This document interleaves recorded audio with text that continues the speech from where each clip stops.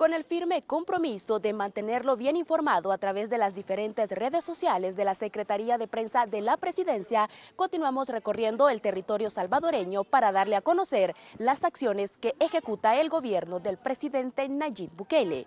Los esfuerzos para evitar los abusos como el aumento injustificado de precios, el acaparamiento de producto y la especulación continúan reflejándose a través de las continuas inspecciones por parte del presidente de la Defensoría del Consumidor, Ricardo Salazar, acciones que llegaron hasta los principales centros de abastecimientos de productos de la canasta básica del Mercado Colón de la ciudad de Santa Ana.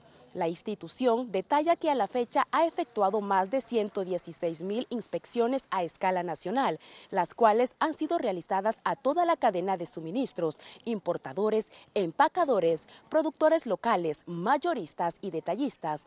Según el presidente de la Defensoría, 80 casos ya fueron presentados al Tribunal Sancionador por incremento injustificado de precios. De estos, 50 ya fueron admitidos y 24 sancionados, totalizando 90 35.600 dólares, un importante esfuerzo que ha permitido mantener la estabilidad de los precios en nuestro país y obtener la tasa más baja de inflación en la región centroamericana con el 7.5%.